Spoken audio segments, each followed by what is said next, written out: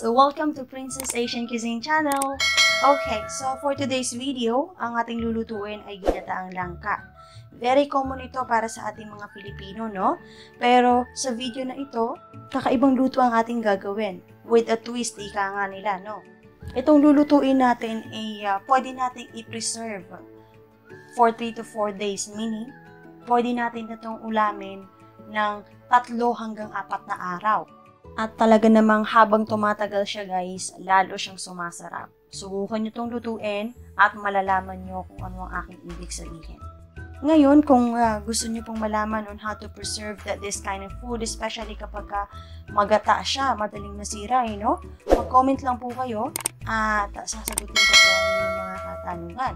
Para naman sa kumpletong listahan at uh, tamang sukat ng ingredients, isasama ko po siya dito sa ating video at makikita niyo siya sa inyong mga screen. So, para sa ingredients na nakikita niyo sa inyong mga screen, gagamit tayo dito ng langka.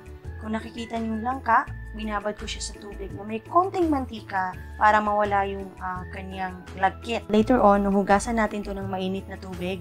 Pagkatapos nun, hugasan natin siya ulit ng warm water. So, aside from this, gagamit din po tayo ng nagata ng niyog. 2 cups or 500 ml na gata ng niyog. Naghiwalay din po ako ng uh, isang cup ng gata. Later or malalaman nyo kung bakit para sa ating langka. Aside from that, meron din tayong tatlong uh, pirasong bawang. Nakita nyo, pinisa ko lang siya at hindi ko tinanggal yung balat. So, ihahalo natin yan mamaya sa ating uh, luto. Gagamit din tayo ng spring onions. So, pinag-iwalay ko yung puti at saka yung green. Hahatiin din natin tong dalawa mamaya. Okay? And then, gagamit din tayo ng green sile. Siling haba. Dalawa lang. Pwede niyong dagdagan kung gusto niyo ng maraming sile. And of course, gagamit din tayo ng sayote. Isang pirasong sayote na may saktong cut lang. Medyo malalaki ng konti. And then, sibuyas, red bell pepper, And also, luya at sili. So, napakaraming sili nito, guys. Depende sa inyo, guys, kung maraming sili ang inyong gustong gamitin, eh, no? So, aside from luya at uh, sili, hahatiin ko yung white spring onions. Kasi mamaya, didikdikin natin ito, no? So, that will be your our first step.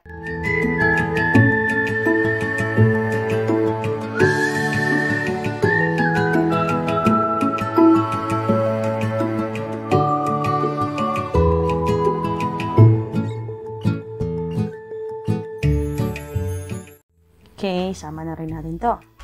And then, itong green onions, ilalagay ko siya doon sa ating 2 cups of gata. Hinalo ko siya. Itong 2 cups of gata, ilalagay natin to sa ating luto pagka sa huli na, no? So, ito isama natin dito kasi medyo matigas to ng konti. Ito dyan. Ito, dito na lang. So, ito na siya guys, no? Yung sili and then yung spring onions na puti, nandiyan na. And of course, by the way, bago ko makalimutan, of course, yung ating, isa sa main ingredients natin is yung labahita. So, ito, binilad na labahita. Pwede kayong gumamit ng ibang klaseng tuyo, no? Pwede kayong gumamit ng daing or kahit ano. Pero sa akin, ang choice ko is yung labahita, dried labahita. So, tara na simulan na natin magluto.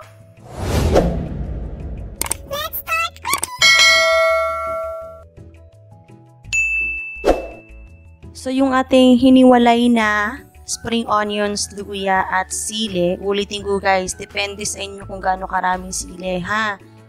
Okay, magdagdag na rin tayo dito ng asin.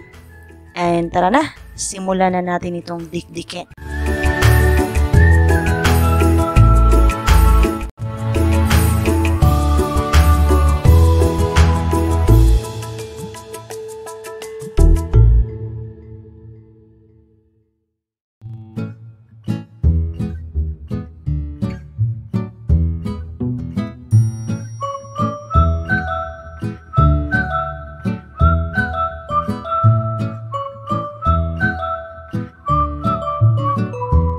Ito na yung ating dinikdik. na palapa. Actually guys, ang tawag dito talaga palapa. Pero yung normal ingredients is hindi yung spring onions. Wala lang ako nung sangkap na kailangan sa palapa. Okay? Set aside na natin ito. At diretso na tayo sa second step. Second step guys, magpapainit tayo ng kawali para prituhin natin yung ating labahita. Make sure lang na mainit na yung kawali bago tayo maglagay ng mantika. So, saktong mantika lang dahil hindi naman natin kailangan uh, prituhin yung labahita ng uh, medyo luto. Kasi luto naman na yun eh. Binilad na sa araw yon. Ngayon, bago tayo magprito, check natin kung mainit yung mantika. Para malaman kung mainit yung mantika, gagamit tayo ng toothpick. At pag kumukulo na siya, ibig sabihin, mainit na yung ating mantika. Pwede na nating ilagay yung ating isda. Ayan. So guys, hindi natin kailangan dapat na lutuin ito ng medyo matagal. Makatikim lang siya ng konting mantika dahil luto naman na ito eh.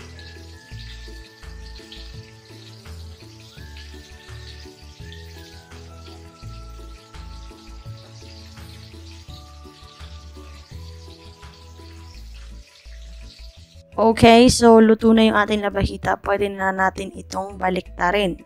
Ayan. Okay. Mm, sarap. Parang gusto ko ng suka at sili, no? At kumain na lang at wag na lang ituloy itong video natin.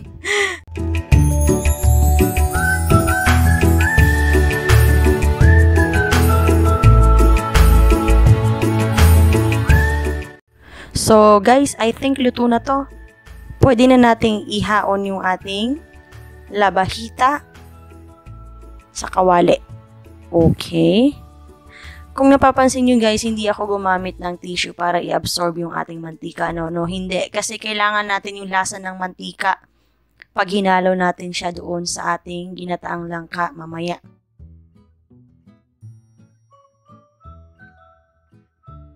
Sarap po. Oh. Mm, okay.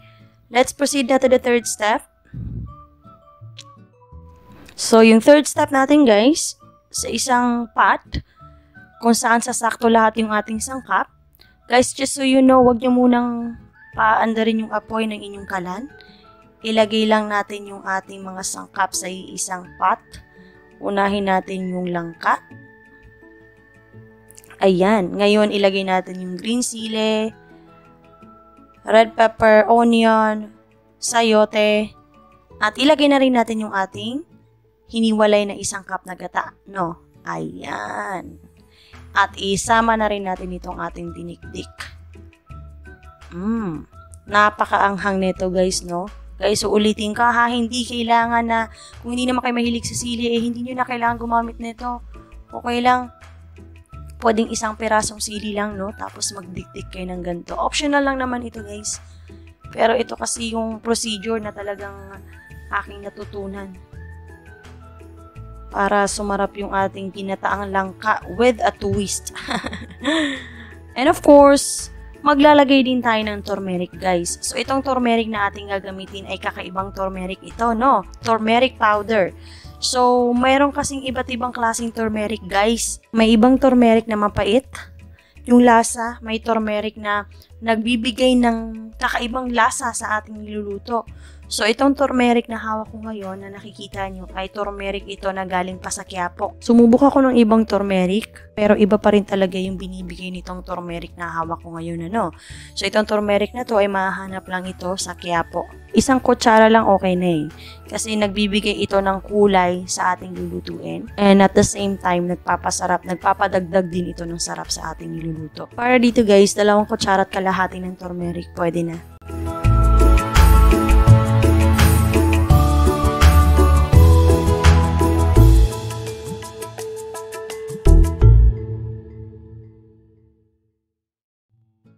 Ngayon, magdagdag, ilagay na rin natin yung ating tatlong bawang na hindi natin binalatan. And then, maglagay na rin tayo ng tubig. Ngayon, yung sukat ng tubig, guys, uh, madali lang. Depende sa inyo kasi ito ay pantay lang sa sukat ng ating sangkap. Kasi later on, magre-reduce naman yung tubig.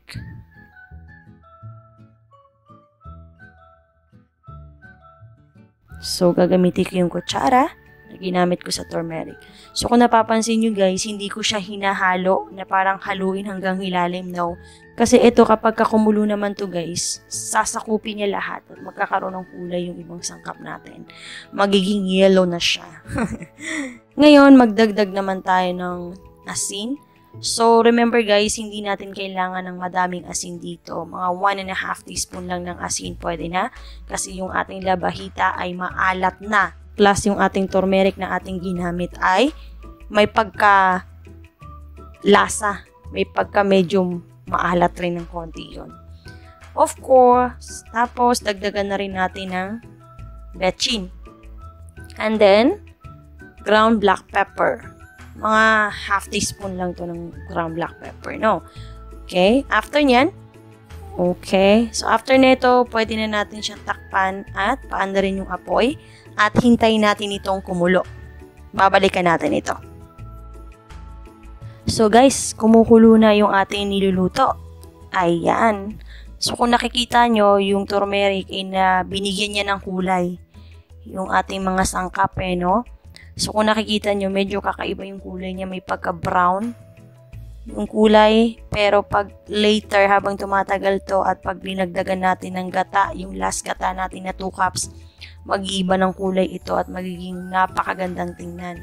And then, tingnan natin. Yung langka kung luto pa. So, hindi pa to luto. So, hayaan nyo lang siyang kumulo ulit. Takpan muna natin at hintayin natin at pakuluin natin ulit hindi natin i-reduce yung apoy. And then later on, pagka nag-reduce na nang nag-reduce yung tubig niya, tsaka natin siya babalikan. So, hayaan muna natin ito at balikan natin mamaya. Alright. So, eto na siya guys.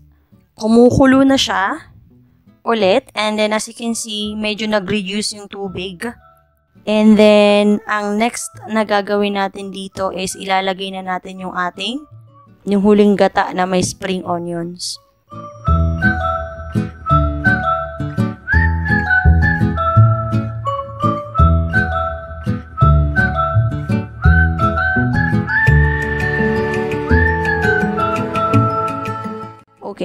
So, ito guys, dahil nilagay na natin yung last na gata ng niyog, pakukuluin lang natin to hanggang sa maging thick yung kanyang sabaw. Medyo malagkit ng konti yung sabaw. So, takpan natin at balikan na lang natin to mamaya. Alright, eto na. Kumukulo na. So, buksan na natin ito guys. Taran! Oops, okay. So kung nakikita nyo, dahil nga naglagay tayo ng last nung gata, naging napakaganda nung kulay niya. So ilalagay na natin yung ating labahita. Mm, ang bango. Okay, ayan. And then, haluin lang natin dyan ng, haluin lang natin ng konti. And then, later on, tatakpan natin to at pakuluin natin ulit. And then, after nun, okay na siya. Luto na siya pwede nyo na siyang iserve. And then guys, ulitin ko, pwede nyo itong i-preserve 3 to 4 days or ulamin ng hanggang 4 na araw. Ang pag-preserve nito guys, kung gusto nyo malaman, mag-comment lang kayo sa video na to at at i-share ko sa inyo kung paano i-preserve yung ganitong klaseng luto. So, napakasarap nito, may pagka-spicy at the same time, sobrang sarap.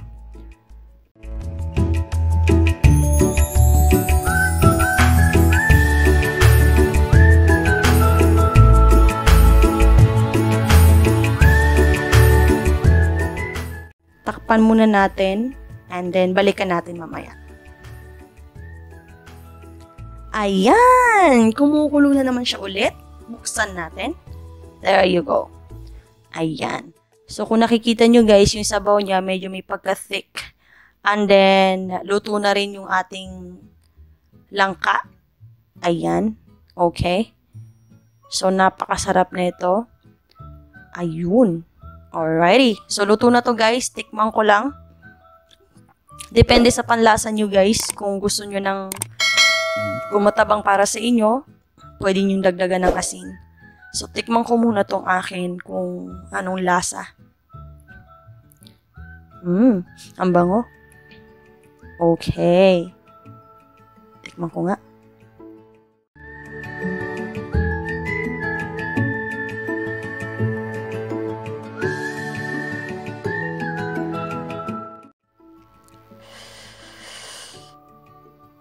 Sarap. Isa pa nga. Isa pa, isa pa.